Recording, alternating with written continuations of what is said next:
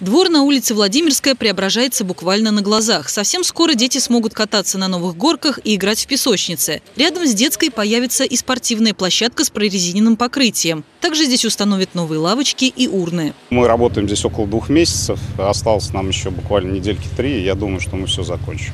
Ремонтирует двор по проекту формирования комфортной городской среды нацпроекта «Жилье и городская среда». Жители принимали активное участие в создании проекта благоустройства и сами решали, что должно появиться в их дворе. Воплощение идей горожан в жизнь – основа стратегии лидерства долгосрочного документа развития региона, разработанного по инициативе губернатора Дмитрия Азарова. За выполнением работ во дворе на Владимирской жители тщательно следят. Вопросы по состоянию асфальтового покрытия у нас вроде как нам тоже на встрече идут.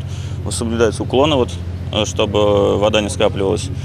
Э, дорожку вокруг площадки тоже, я так понимаю, нам это навстречу пошли, сделали асфальтовую. Что жители просят, мы все устраняем, всякие замечания там, или наоборот помогаем друг другу. Качество работ на контроле и у районных властей. Ведется профессиональный технический надзор организации, которые также несет гарантийные обязательства за качество выполнения технадзора.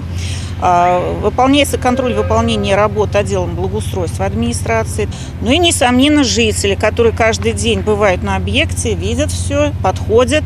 В этом году в Ленинском районе по программе формирования комфортной городской среды обновят 8 дворов. Также будут отремонтированы три двора по программе содействия. Лариса Шалафаст, Максим Гусев. События.